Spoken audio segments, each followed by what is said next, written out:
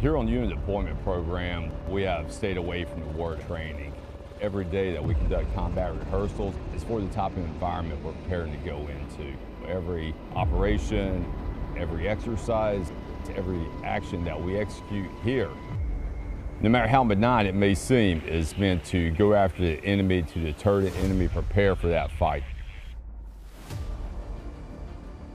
When the day comes and that threat tries to seize maritime terrain, we're going to be there. This is the force that's ready to fight now. The entire workup was focused on expeditionary advanced base operations.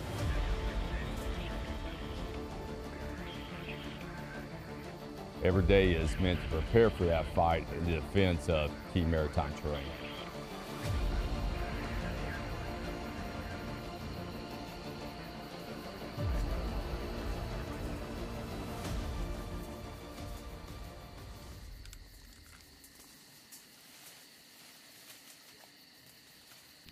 This prepares us for the future because now small unit leaders can drive the fight themselves because they know their Marines and their capabilities.